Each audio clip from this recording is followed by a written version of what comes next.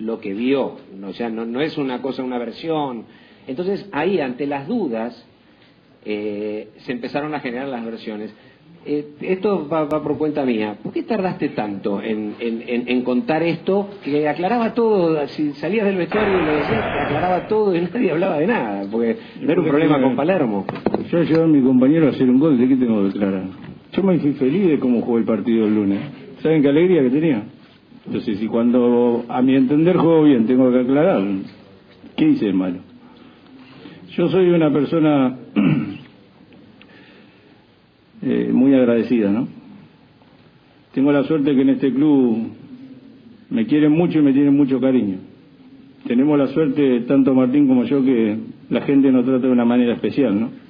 Eso es maravilloso. Y la gente no nos trata de una manera especial porque andemos de la mano por la calle o porque comamos juntos cada día. Nos trata de esa manera porque tratamos de hacer las cosas lo mejor posible dentro de la cancha. Hemos tenido la suerte de ganar muchas cosas y yo sé que Martín tuvo que ver mucho en que yo haya ganado tantas cosas en este club con todos los goles que ha marcado. Entonces yo soy una persona agradecida. ¿no?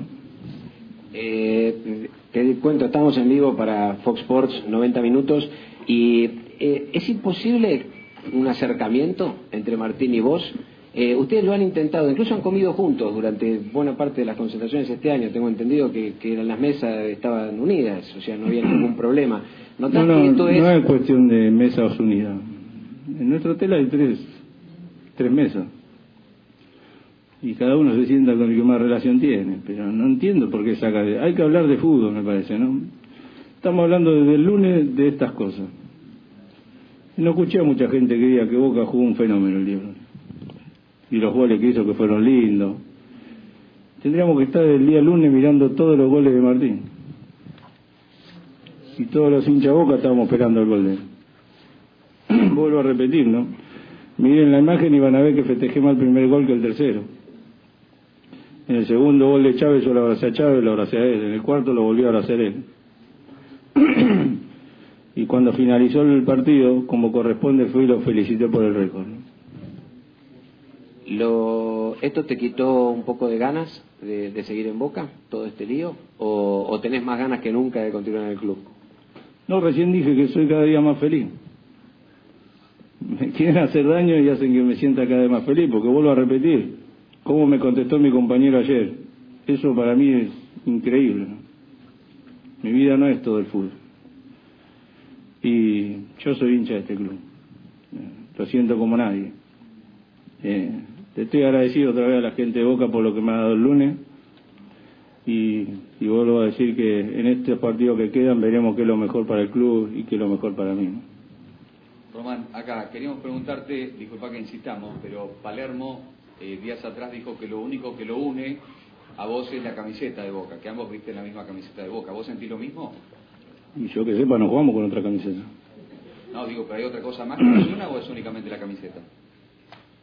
somos compañeros de equipo. Pero no entiendo por qué tengo que hablar de él, de mí, de... qué sé yo, la relación que yo tengo con él es la misma que tengo por ahí con alguno, la relación que tengo con Insúa por ahí es la misma que tengo con él, pero es normal como cualquier trabajo, como te paras agua en tu trabajo también. Tendríamos que hablar más de fútbol, me parece, estamos hablando más de otra cosa que de fútbol. De todas maneras, y ya para cerrar por mi parte, eh, digamos, no se vio que hayas tenido, después del gol, que hayas tenido un gesto, ni aunque sea de saludar de lejos o de ir a acercarte y palmearlo en la espalda después cuando iban volviendo para el medio de la cancha. Digamos, esa es la impresión que quedó por televisión, para quien veía el partido. Vos podés opinar lo que vos quieras. ¿Y vos qué pensás? Yo acabo de aclarar todo, recién. No tengo nada que pensar. Vengo, digo la verdad y ya está. Roban, eh, una vez que terminó el partido, eh, fueron a los vestuarios. Ahí fuiste, lo felicitaste a Palermo, ¿hubo algún eh, contacto con él? ¿Qué le comentaste? No, acabo de decir, cuando finalizó el partido hice lo que, lo que correspondía, felicitarlo por el récord que consiguió. Después no voy a decir dónde, porque yo las cosas de la historia no me gusta así, pero lo felicité después del partido. Pero vuelvo a repetir, no estamos hablando un montón de cosas y menos de fútbol. Ya creo que las otras cosas han quedado todas claras, ¿no? Sí, Román, es cierto lo que estás diciendo, pero en definitiva son cosas que pasan, ¿no? Aquí. Eh, cuando dijiste recién esto está armado, está recontra armado. ¿A quién te referís, Román? No, vigilante no soy. Lo dije la otra vez.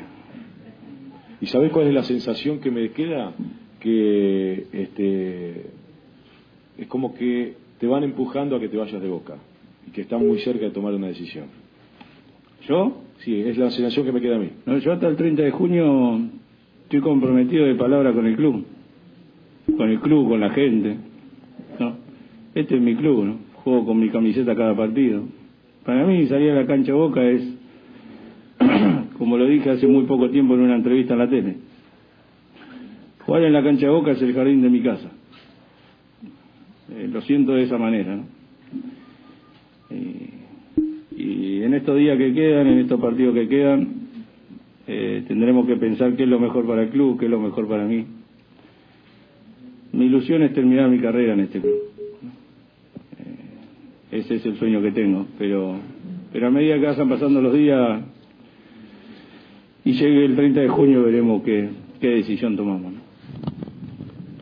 Román, acá, dos preguntas quería hacerte. La primera, cuando hablabas de lo que pasó el domingo, previo al partido con Arsenal, con algunos hinchas que estuvieron en la práctica, dijiste que hay cosas que no podés soportar. Eh, ¿Eso lo que pasó te lleva por ahí a tomar una decisión de no seguir en Boca porque fue un hecho grave lo que pasó? No, no, yo no estoy diciendo por una cosa o por la otra que tenga que, que decidir algo, ¿no? Vuelvo a repetir, ¿no? Que esto estaba todo armado eh, y, y que la decisión la había tomado yo porque porque es así, a mí nadie me va me va a obligar a, a hacer algo que yo no quiero, ¿no? Y después eh, el presidente con los dirigentes tomarán la decisión que ellos crean necesario, la mejor para el club, ¿no? Porque siempre el presidente trata de hacer lo mejor por el club. Y, y yo en estos partidos que quedan también tendré que ver qué es lo mejor para el club y qué es lo mejor para mí, ¿no? Eh, Román, cuando decís eh, estaba todo armado, lo, lo- lo volvés a repetir.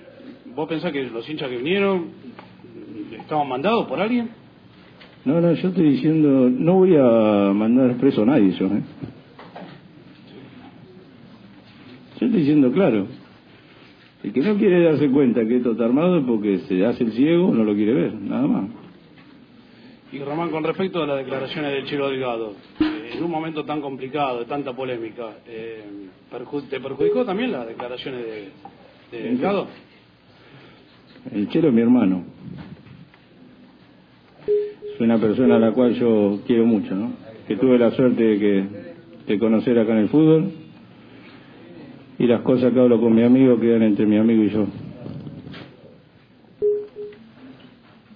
Eh, Román, también Oscar Córdoba eh, declaró en los últimos días que por haber hablado con Fabián Vargas eh, sentía que en algún momento iba a haber algún problema, algún estallido dentro del plantel de Boca. ¿Vos qué respondés a eso? Nada. Que yo el día lunes viví un día maravilloso. El vestuario estaba feliz, estaba contento, el equipo jugó bien, ganó. No pasa nada. Román, vos fuiste claro con el cuerpo técnico de la selección, dijiste que no compartía los códigos, la manera de trabajar. Y esos mismos códigos que, que te hicieron dejar atrás o dejar de lado la selección, ¿todavía, ¿todavía son posibles en una convivencia con Palermo o te pueden llegar a separar también de trabajar con Palermo? Los códigos que te separaron o, la manera de trabajar de, de Maradona te hizo dejar de lado la selección. ¿Puede pasar esto con Palermo? No, no, nadie sabe lo que pasó con el técnico de la